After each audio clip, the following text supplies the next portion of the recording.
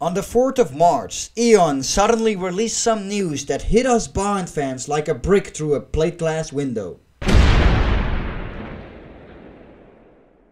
And just like any other Bond fan, I was proper gutted. I was gutted. Thinking of the possibilities that could have been. I- I'd be lying if I said I didn't feel it in my gut. Why did it go so wrong? The word gutted is appropriate. I'm seriously gutted. Pretty damn gutted. So I've been receiving a lot of messages these days from fans asking me how I feel about the delay and whether or not I was going to do a reaction to it. My reaction really isn't any different to any other Bond fan. I'm as devastated as any of them and when this tweet hit you could really feel it. The heartbreak that you felt here, you knew that everyone across the Bond community felt this way and it's hard to describe if you're not a Bond fan how much of an impact this has on you for a film to be delayed from April to November. But we've been waiting for so long for this film. It's been almost five years, uh, and it was initially going to be uh, released in November 2019, which already was very late, uh, coming after 2015. Then it was going to be uh, February 2020, then April 2020. Now it's November 2020. Hopefully that's the last delay. It sucks because a lot of us Bond fans made some major plans. Me for example, I booked my plane ticket way back in January to go see this movie in London. I booked my hotel, paid for all of it, and I was like, you know what, I'm just gonna go to London to see this film hey, I've got a YouTube channel, maybe some guys actually know me and I'll get to see it with other Bond fans, let's just have fun and we'll see uh, what we run into. And then Calvin Dyson actually got in touch with me too to see it together.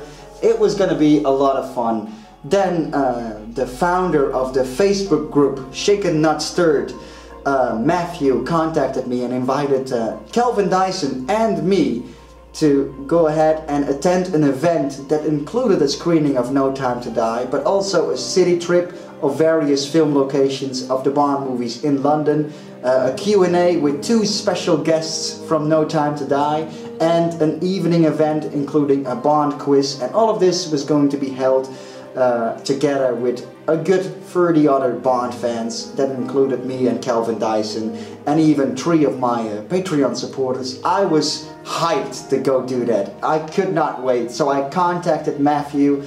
I even said, you know, I want to be there. Um, it was it happened to be on the day that I arrived in London too, but I arrived way too late, so I changed my plane ticket to arrive there a couple of hours earlier, paid a lot of money for that as well. But I was so up for this, and then I sent a message to Matthew thanking him and joking like, hey, hopefully Corona doesn't come and spoil the party. uh, and then it did. It really, it it hurt and not just because you spend all this money on it. It's hard to describe but when you're so excited for this when you're doing a countdown i actually been doing this bond film of the week series to count down to no time to die. Guess that can now go in the trash. It kind of hit me. A couple of hours later when it kind of sank in i was like you know what? I can be all down about this. There's nothing i can do. Hey i'm just a youtube guy what do I know? There's no influence to be had here. All I can do is take it, pay the price, and hope for the best. And I like to think, at least in my experience, I have a positive mindset. So I was like, let's get back to the positivity here and not let this corona thing ruin the party. So what I did is I'm still gonna come to London. The Shaken Not Stirred event, it's still gonna continue. We're not gonna see No Time to Die yet, that's not possible, but we're still gonna do the city trip. We're still gonna do the Bond quiz. We're still gonna be there with Calvin Dyson and three of my Patreon supporters who've all are still coming. Even one of them that's coming from France, he's also coming. And I was like, you know what? Let's just still go to London and let's also go to London in November. Uh, which kind of sounds like I have tons of cash, which is far from the truth, but when you live in Holland, uh, it's not that much of a price to fly to the neighboring country. So, November, I'm gonna be back to watch No Time to, to Die, and you know what?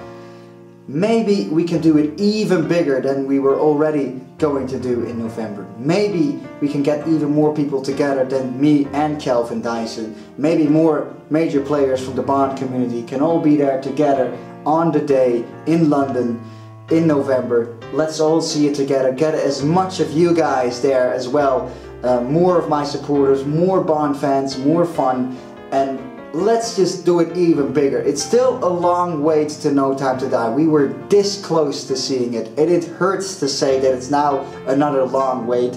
It's also so hard to believe after all the marketing that's been going on. The Billie Eilish song has been released, the posters everywhere, the Heineken bottles, the on the, the train station here in the Netherlands they had this whole James Bond experience where you could film yourself in front of a green screen all of that crap seems to be for nothing now. But at the end of the day, it is what it is. You know, it's an economic decision.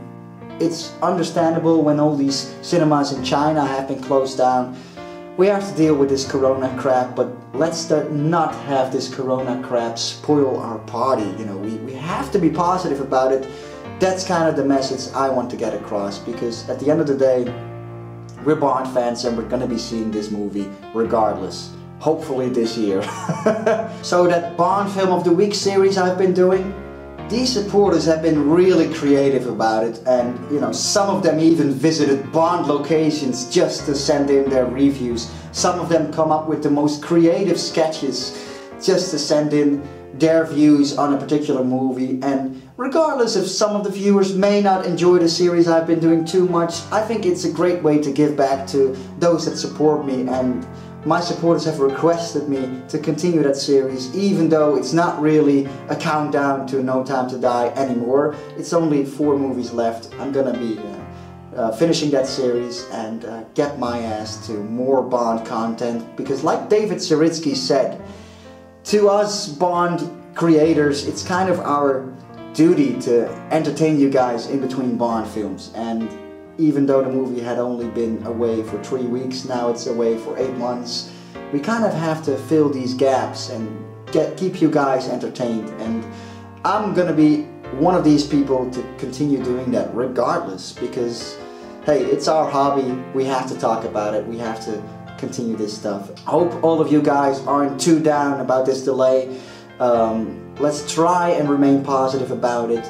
We have to, you know, I've seen a lot of people who are kind of done with Bond, who are kind of done with this whole Corona thing, and hey, I can completely understand, but we have to try and not be too down about it because there's nothing we can do. So at the end of the day, guys, hopefully you guys are a little bit more inspired and let's just uh, go ahead and all go and see this movie in November. If you can make it to London, come to London. We'll see how that goes. November is still far away, but hopefully we can get even more people together and uh, see it all. I, I mean, to me, it would be an honor to not just be with Calvin Dyson, but with many other guys within this Bond community and really make it like the event of 2020. So, that's it for uh, my little reaction, guys. Stay safe um, try and remain positive and uh, hope to talk to you guys again soon.